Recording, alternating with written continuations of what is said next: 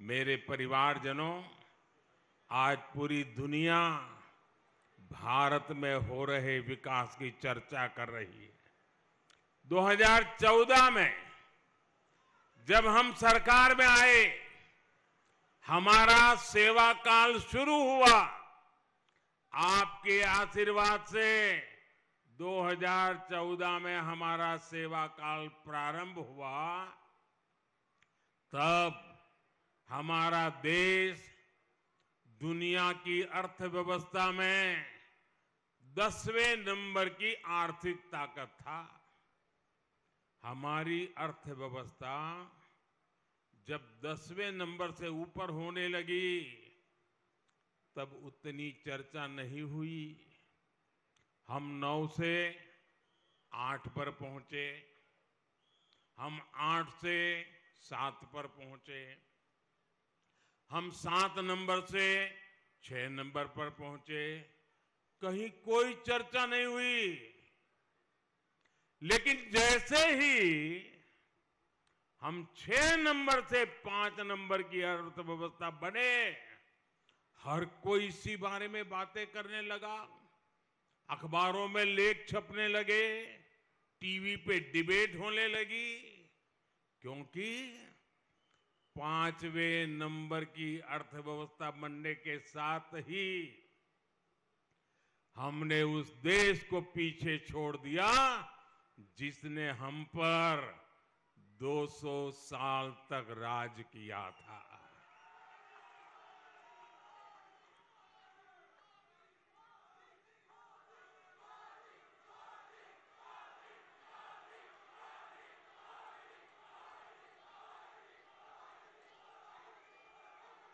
सेवा भाव से, समर्पण भाव से काम करते हैं तो दसवें से पाँच नंबर पर पूरी ताकत के साथ पहुँच भी जाते हैं।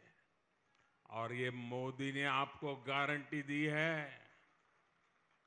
मोदी की गारंटी है, लिख लीजिए। जब मैं तीसरी बार मेरा सेवा काल शुरू होगा मैं इस देश की अर्थव्यवस्था को दुनिया की टॉप तीन में ला करके रहूँगा भाई।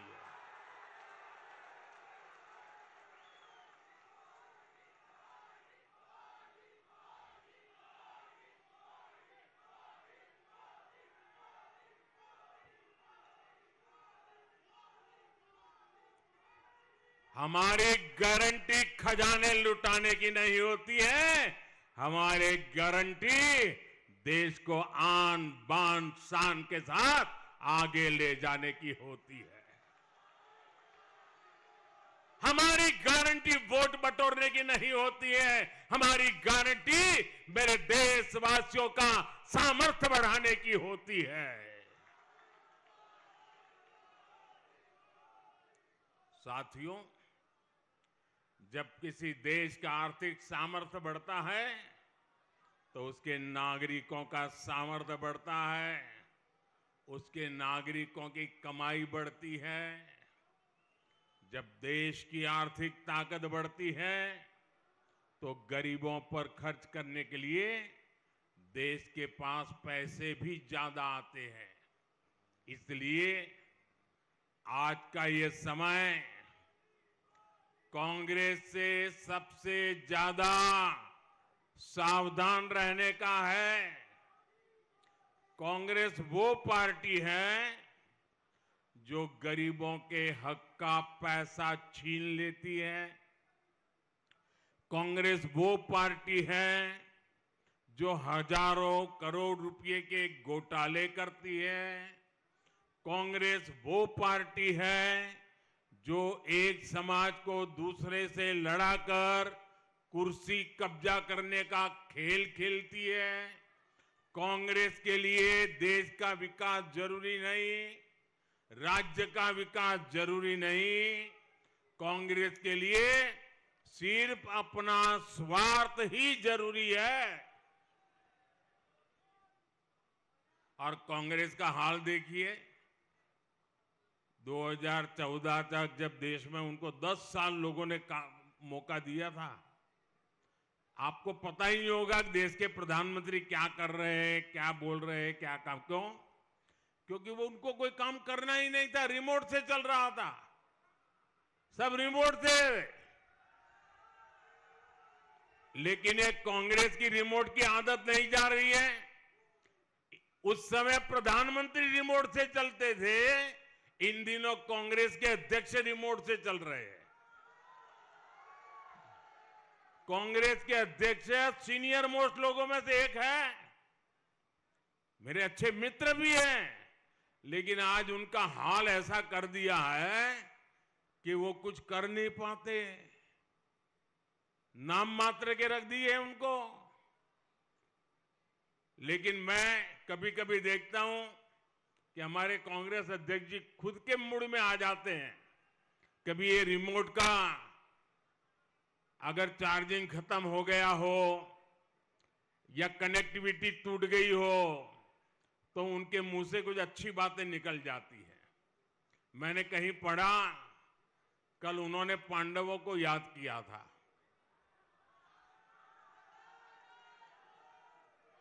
जब रिमोट चलता है, तब वो सनातन को गाली देते हैं।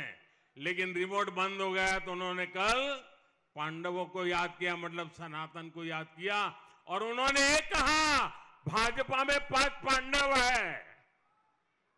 देखिए, जब सच बोलते हैं तो कैसी बात निकलती है जी? हमें गर्व है, हम पाँच पांडवों के राह पर चल रहे हैं, इससे बड़ा गर्व क्या हो सकता है? साथियों, आप कल्पना कर सकते हैं, गरीबों का पैसा लूटने के लिए कांग्रेस ने एक खास मशीन बनाई थी। आपको पता है, कांग्रेस ने एक खास मशीन बनाई थी। आपको मालूम है? मैं बताऊँ? बताऊँ? एक बार कांग्रेस ने प्रधानमंत्री ने उसका उल्लेख किया था। वो मशीन ऐसी थी जिसमें सरकार अगर सौ रुपये भेजती थी तो उसमें से पचासी रुपये सीधे कांग्रेस नेताओं की तिजोरियों में पहुँच जाते थे, सिर्फ़ पंद्रह रुपया लोगों के पास जाते थे। ये उनके एक प्रधानमंत्री ने कहा था। 2014 में जब हमारी सरकार बनी तो मैंने कहा था कि ऐसे तो कभी मैं चलने नहीं दूँगा। तो मैंने सबसे पहले कांग्रेस की इस भ्रष्ट मशीन के सारे टायर पंचर कर दिए। हमने आधार, मोबाइल और बैंक खातों की ऐसी त्रिशक्ति बनाई कि कांग्रेस की भ्रष्ट मशीन टीकी नहीं पाई।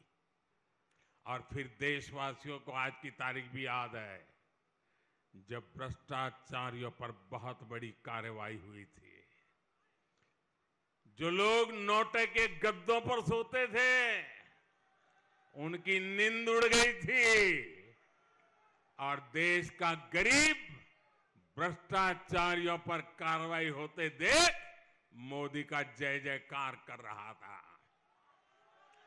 इसलिए आज ही तारीख आते ही कांग्रेस ऐसे बिल बिलाती है, ऐसे बिल बिलाती है, जैसे सबसे ज़्यादा काली काली कमाई उसी को बैंकों में जमा करानी पड़ी हो। आज भी कांग्रेस सबसे ज़्यादा मुझे भ्रष्टाचार पर कड़ी कार्रवाई करने के लिए दिन में सौ सौ बार गालियाँ देती है। हज़ारों करोड़ रुपए के घोटाले में जो लोग जमानत पर है, उन्हें मोदी से तकलीफ़ होनी बहुत स्वाभाविक है। ये हमें जो गालियाँ देते हैं उनके जरा नाम निकाल के देख लेना। ये सारे लोग किसी न किसी केस में फंसे हुए हैं, भ्रष्टाचार के आरोप लगे हुए हैं और जमानत पे ज़िंदगी गुजार रहे हैं जी।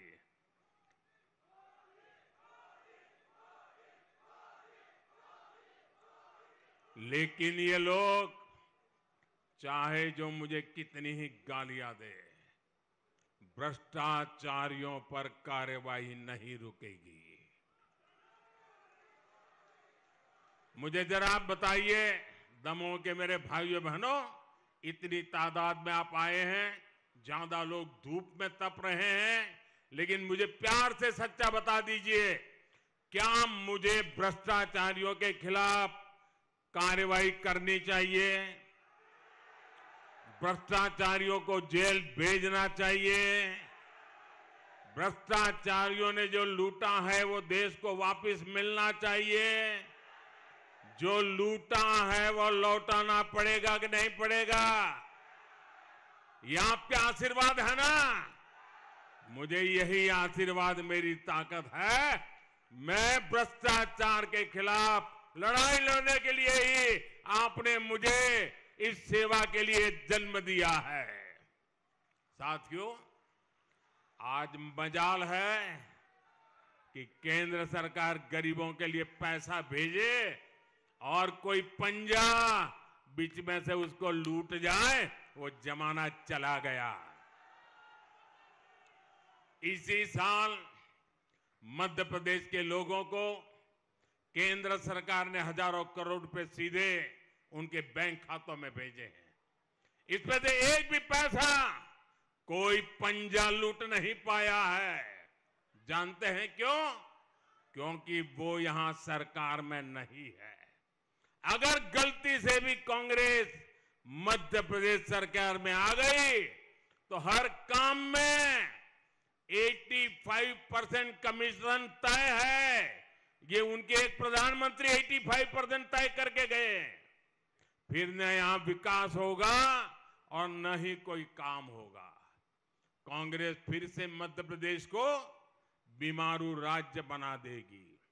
इसलिए मध्य प्रदेश के लोगों को, विशेषकर आज की युवा पीढ़ी को कांग्रेस से बहुत सावधान रहना है।